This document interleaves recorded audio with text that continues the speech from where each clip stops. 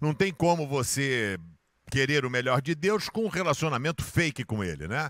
Então, como nós falamos, Elias pegou, deu uma dura no povo, falou: galera, olha só, escolhe então aí a quem vocês vão servir, como é que funciona essas coisas todas. Se o, o Senhor é Deus, vamos lá. Se Baal é Deus, então segue com ele. E ele então vai e restaura o altar do Senhor, mas ele lançou um desafio para a galera. Falou para os caras de Baal: vocês são maioria, faz o seguinte, começa vocês a clamarem ao Deus de vocês. O verdadeiro Deus vai mandar fogo do céu.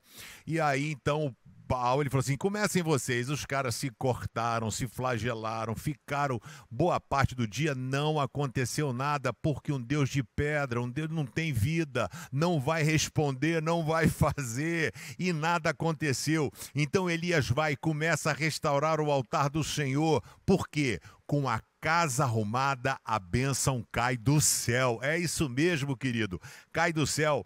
Quando chegou a hora do sacrifício da tarde, o profeta Elias chegou perto do altar e orou assim: Ó oh, Senhor, Deus de Abraão, de Isaac e de Jacó, prova agora que és o Deus de Israel e que eu sou teu servo e que fiz tudo isso de acordo com a tua ordem. Responde-me, Senhor, responde-me, para que este povo saiba que tu, ó Senhor, és Deus e está trazendo este povo de volta para ti. Então o Senhor mandou fogo, e o fogo queimou o sacrifício, a lenha, as pedras, a terra, e ainda secou toda a água que estava na valeta. Quando o povo de Israel viu isso, eles se ajoelharam com o rosto no chão e gritaram: O Senhor é Deus, só o Senhor é Deus.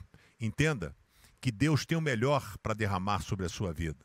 Deus quer mandar fogo de bênção, chuva de bênção sobre a sua vida.